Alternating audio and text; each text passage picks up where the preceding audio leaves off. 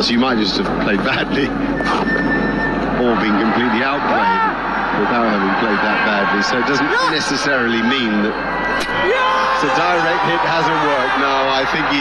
Well, hang on. There's a differing view here. Okay, Oh, through. that ball's coming. Oh, got it.